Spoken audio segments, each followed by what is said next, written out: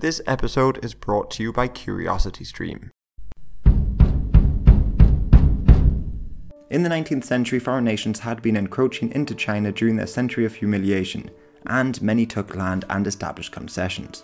The Chinese, who had historically been suspicious of foreigners and their technology and modernization, were experienced famines, floods, rebellions, wars, and rampant corruption, so they could not govern over a lot of the regions effectively. And throughout Chinese history, secret societies like the White Lotus often exploited this. And in Shandong, the Fists of Harmony and Justice, another secret society, was formed, but were dubbed the Boxers due to members practicing martial arts. And the many local groups merged under the leadership of Zhang Decheng, as their ranks swelled to around 10,000, filled with peasants, unemployed labourers, and the likes most of which believed Zhang had magic powers and they too could become invincible. And in 1897 a couple of Germans were killed in Shandong, potentially by members of another society, the Big Swords. The Germans responded to this, the Juye incident, by seizing Jiaozhou Bay, and built new churches and missionary activity increased in Shandong as it fell under German influence. This encouraged the Russians, British, French and Japanese to claim their own spheres of influence, and the Chinese had to comply.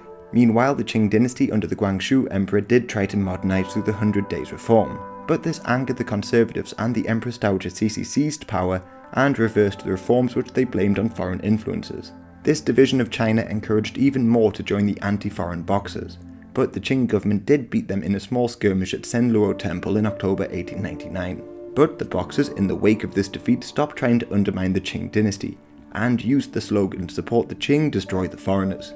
In response, Cixi issued edicts defending them, and this allowed the Boxers to spread out, killing Christians and burning churches en route to Beijing. Over 400 foreign troops entered Beijing, but they were left trapped as the Boxers cut the railway line to Tianjin in June 1900. Plus, Qing troops, notably the Muslim Gansu Braves, joined the Boxers and both began attacking foreigners and burning churches in Beijing.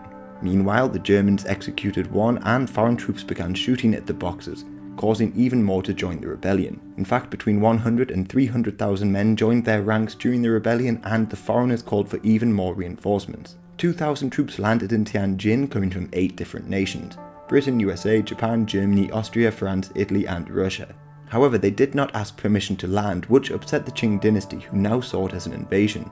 So the Qing decided to align themselves with the Boxers. This new alliance was able to halt the Seymour expedition on the 18th of June at Langfang, forcing them to retreat.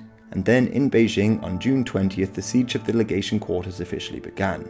The foreign legation quarters were located right next to the Forbidden City, where the Empress Dowager lived, and only around 400 troops protected the 400 foreign civilians and 300 Chinese Christians. But they still managed to drive back Boxer attempts to burn the defenders out. Meanwhile, in the north, 100,000 Russian troops moved into Manchuria, there they crushed the Boxers who were harassing the construction of the Russian railway line in the region. And in Tianjin, 50,000 troops from the eight nations set out to Beijing. But without train lines, they only made it to Beijing in mid-August. Once there, they crushed the Chinese, ending the 55-day long siege and the rebellion.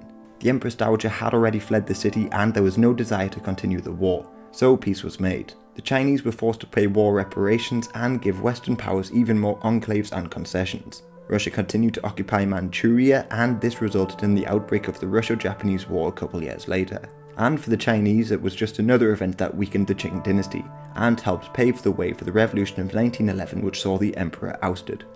This episode was brought to you by CuriosityStream, a subscription streaming service that offers over 2,500 documentaries and non-fiction titles from some of the world's best filmmakers including exclusive originals. Get unlimited access starting at just $2.99 a month or $19.99 a year. And for my audience, the first 30 days are completely free if you sign up at curiositystream.com forward slash jabzy. And as you are all history fans here, they have a wide selection of history shows available, including things like the history of food, and I have just finished watching The Celts, Blood, Iron and Sacrifice, which I highly recommend.